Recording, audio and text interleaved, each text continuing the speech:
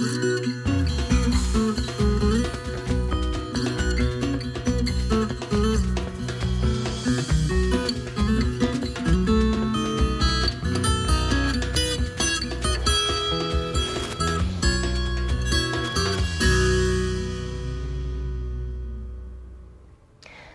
Olá, tá no ar o Ouro Fino em Campo, o programa da Ouro Fino, empresa que tem como propósito reimaginar a saúde animal. Nós queremos te ajudar a aumentar a produtividade do seu rebanho, levando informação, solução e tecnologia. No programa de hoje, a gente vai bater um papo sobre o cenário da mastite no Brasil e você é nosso convidado para participar desse bate-papo. Envie uma mensagem para a gente através do nosso WhatsApp 169 8181 8687.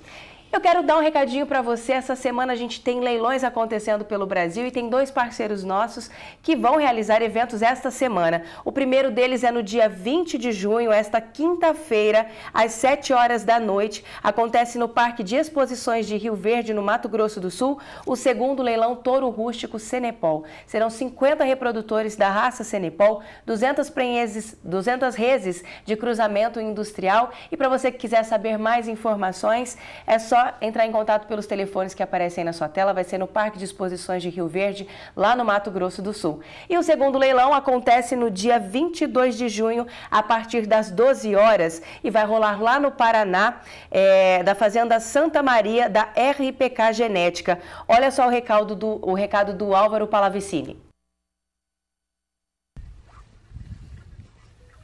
Bom dia aos amigos do Orofino em Campo. Estamos aqui no oeste do Paraná, na Fazenda Santa Maria, do grupo RPK Genética, é, para divulgar um pouquinho do nosso trabalho, da nossa genética e do nosso leilão que acontece dia 22 de junho, é, na cidade de Dois Vizinhos, no sudoeste do Paraná.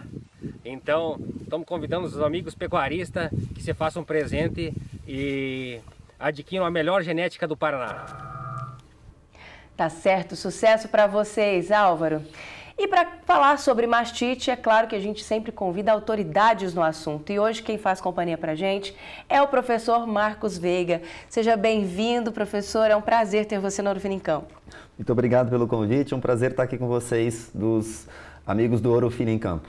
Excelente. Vamos falar um pouquinho de mastite no Brasil. A gente sabe que é um assunto que está sempre em alta, porque é uma doença que continua ali no rebanho. A gente não tem como acabar com ela, né, produtor? É um perrengue toda vez que uma vaca começa a desenvolver a mastite, mas a gente tem várias formas de prevenir, de cuidar desse rebanho para que essa doença não tome conta da produtividade, né? Não comprometa a qualidade do leite também. Então, professor, fala para gente qual que é o cenário atual da mastite hoje no Brasil.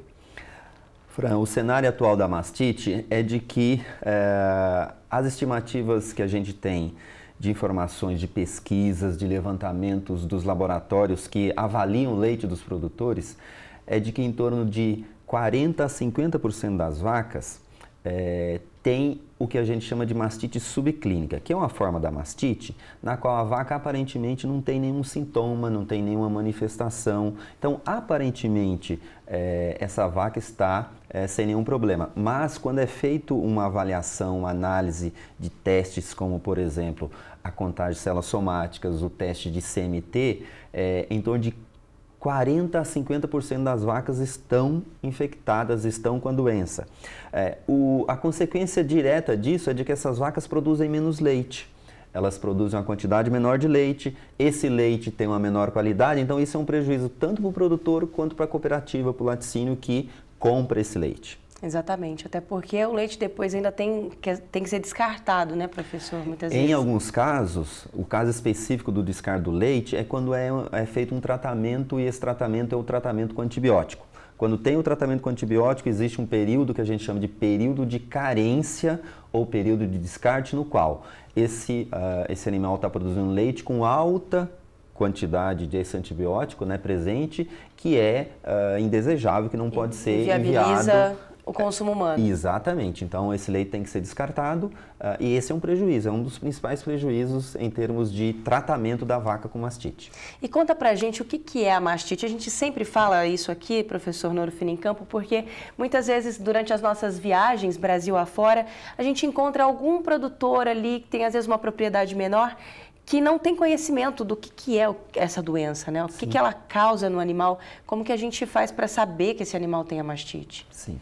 De uma forma bem simples, a mastite é uma inflamação. Essa inflamação está localizada no úbere, na glândula mamária né, da vaca, e é, de forma geral, a grande maioria das causas são causas é, bacterianas. Em outras palavras, de uma forma simples, são causas de contaminações que entram dentro do úbere da vaca e causam a resposta, causam uma uh, inflamação. Essa inflamação tem como é, consequência direta que a vaca não consegue produzir a mesma quantidade de leite que ela produziria se ela tivesse sadia.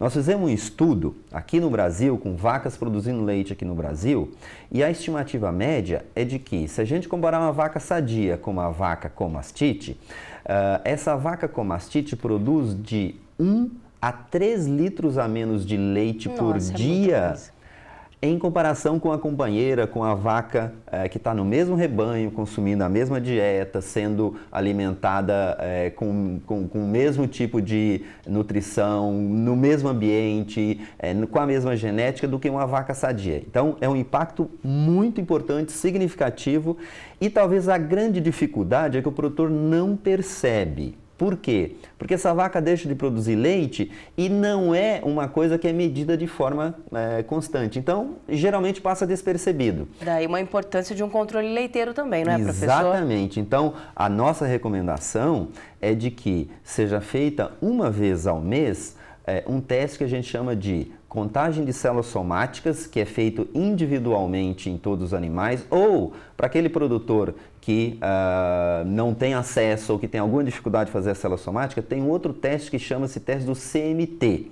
Esse é um teste que é feito ao pé da vaca, é um teste muito simples, custa em torno de 15 a 20 centavos por animal, ou seja, um teste que tem um valor é, muito acessível e dá uma ideia dá uma resposta, dá um indicativo se a vaca tem ou não a doença. Então, é, você imagina, um teste que custa 20 centavos para identificar uma vaca que está deixando de produzir por dia 1 até 3 litros uh, em relação à vaca sadia. Então, é, é uma, é verdade, quantidade, uma quantidade de leite muito grande. O professor, e fala uma coisa, em questão de tecnologias, avanços assim para prevenção e tratamento da mastite, a gente evoluiu nesse sentido nos últimos anos? Hoje, é, a gente tem bastante conhecimento, tem ferramentas, tem tecnologia para o produtor usar para reduzir a mastite.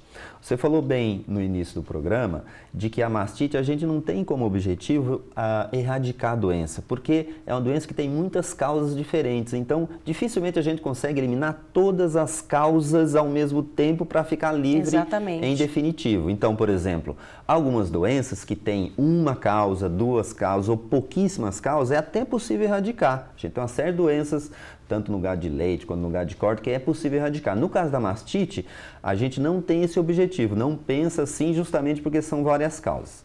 Mas se eu puder é, listar algumas das tecnologias que hoje é, são muito bem avaliadas, são muito bem testadas e que, é, em termos mundiais, hoje é uma solução muito importante, são as ferramentas ligadas com o manejo de ordenha, e daí eu vou destacar duas etapas muito importantes, que são a etapa do que a gente chama de pré-dipping, que é desinfetar, descontaminar os tetos das vacas antes da ordenha.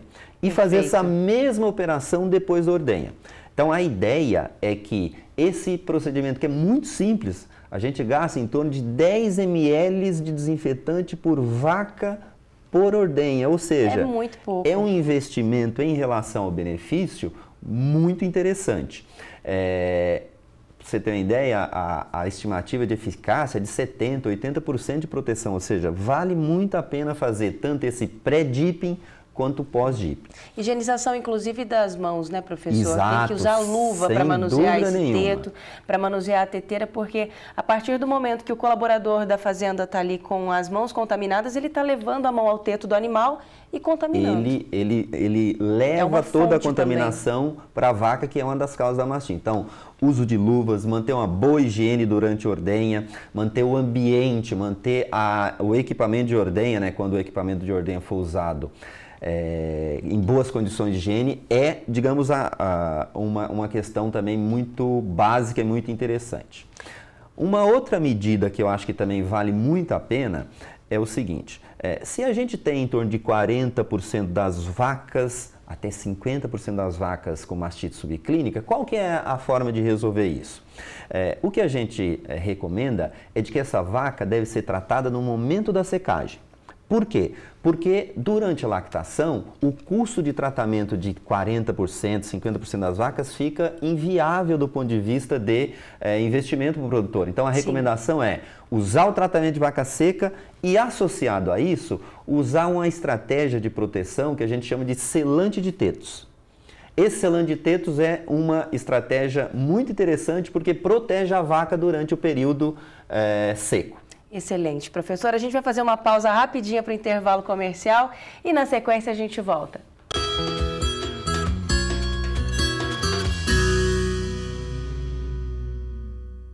O rebanho bovino brasileiro chega a um novo patamar no controle parasitário com o Evol, a nova marca da Ouro Fino Saúde Animal, reunindo na mesma formulação dois princípios ativos, a ivermectina e o sulfóxido de albendazol. Único no mercado de endectocidas, o Evol age em todas as formas e fases dos vermes, além de controlar bernes e carrapatos. Evol, a marca da evolução dos endectocidas.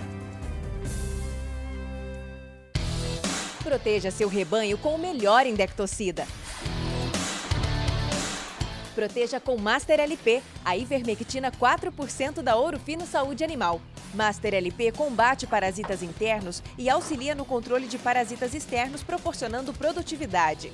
Retenção de receita não obrigatória. Eficiência é com Master LP.